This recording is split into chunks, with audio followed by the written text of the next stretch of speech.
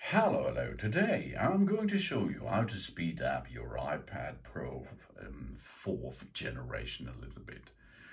If you are using the apps, the awesome apps on your Apple operation system, and you are performing this all day long, day for day, 24 7, and if you are using an app and after you finished this using of the app, you are deleting the process or the app itself. For example, go to the internet, and if you are finished here, swipe upward, then the app is um, not not there in the center. But the app is still working in the background. This is a good comfortable thing, of course, if you are going to make multitasking.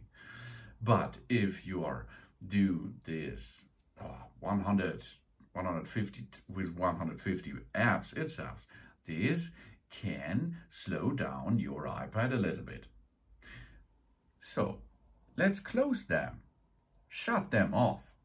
That's easy. Let's go. Swipe from the up uh, from the bottom side up to the center. Release. then you can see all these apps are still running in the background and this cost your RAM power, random access memory. To delete the process, not the app, swipe upward, swipe upward, upward, upward. And now the apps are still on the system, but they are not still running anymore.